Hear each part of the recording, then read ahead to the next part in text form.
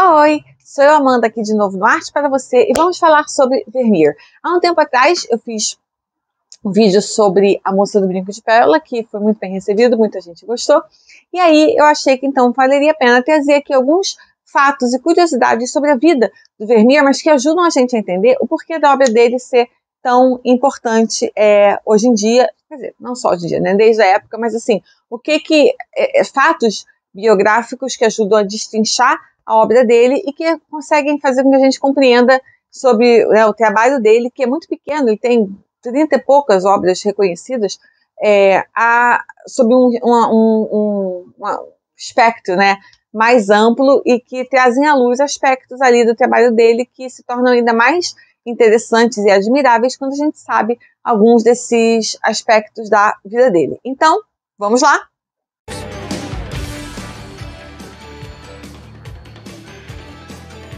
Começando, primeiro, é interessante a gente saber que existe muito pouco a gente aprender sobre a vida pessoal dele. Ele teve uma vida muito pacata,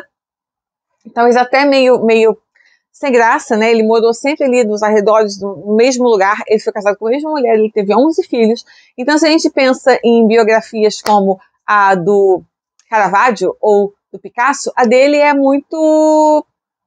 né, desinteressante, talvez até, e foge um pouco desse estereótipo, né, super vida louca e aventureira, e talvez até atormentada e, e muito errática dos grandes artistas. Ele não se conforma, não, não, não, a vida dele não correspondeu a esse tipo de estereótipo, mas, como eu disse, a vida dele ajuda a gente a entender um pouco mais do seu trabalho. Uma coisa que é interessante é que o trabalho dele refletia o seu ambiente imediato. Ele passou toda a sua vida na Holanda, passando a maior parte dos seus anos na cidade de Delfos, que era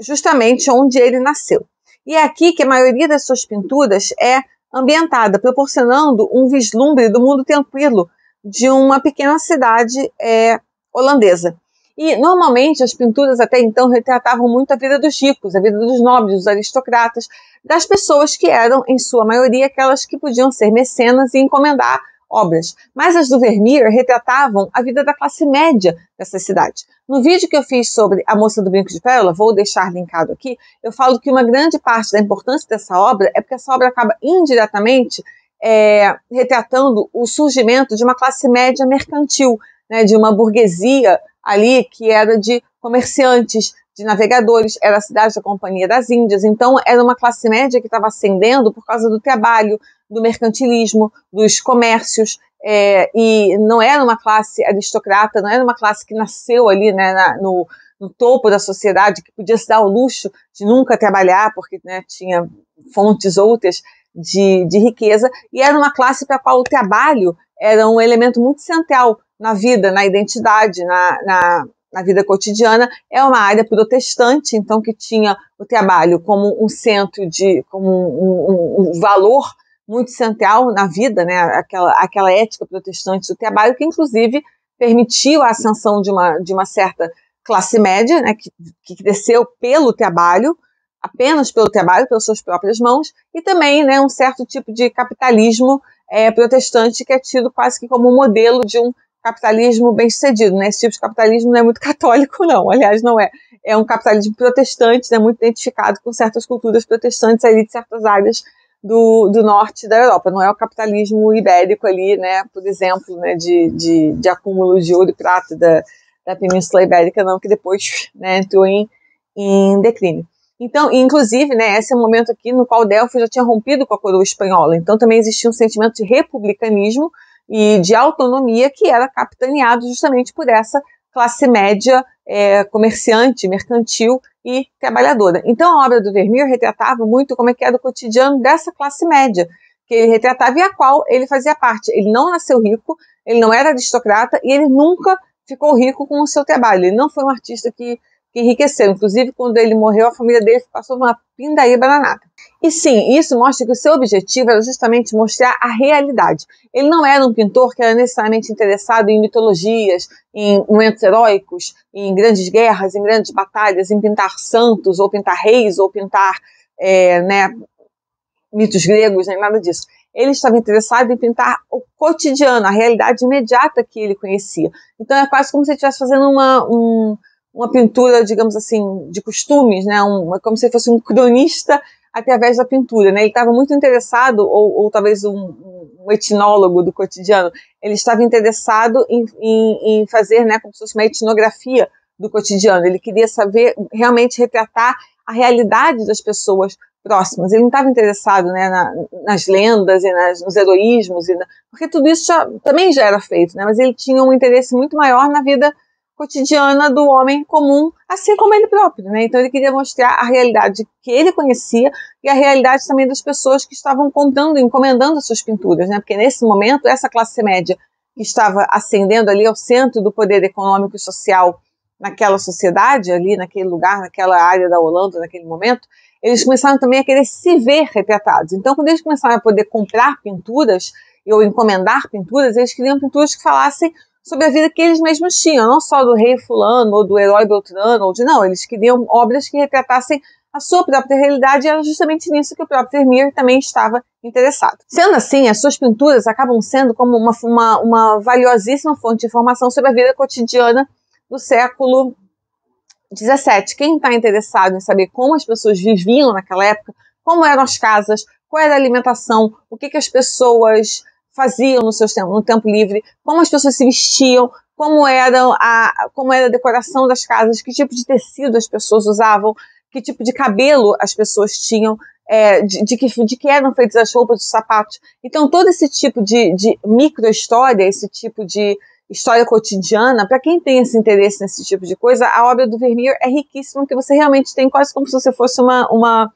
né, uma porta de entrada assim direta, quase que teletransporta a gente para a vida cotidiana dessa classe média, o tipo de louça, o tipo de piso, como eram as cortinas, como as casas eram, eram decoradas, ambientadas, então acaba sendo quase que né, uma, uma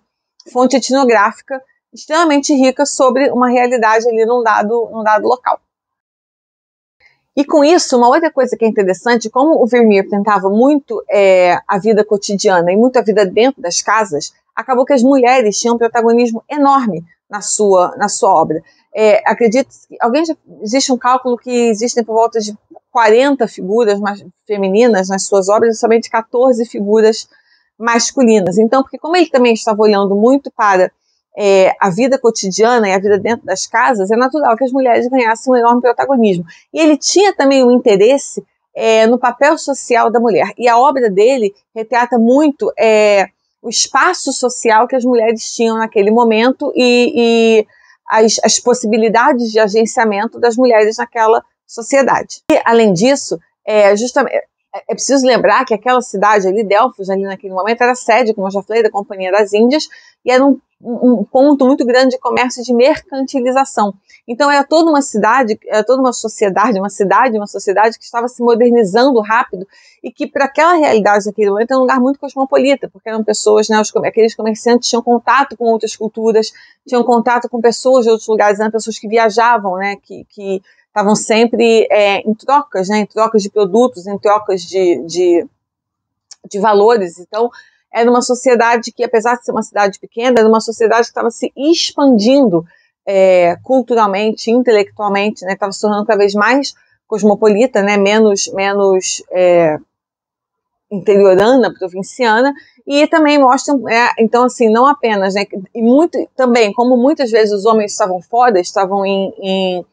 em viagens, estavam em expedições comerciais, as mulheres assumiam a vida social naquele lugar, não só dentro de casa, mas também fora. E isso, então, esse agência, é, né, essa, essa ausência desses homens mercadores, né, muito tempo fora, também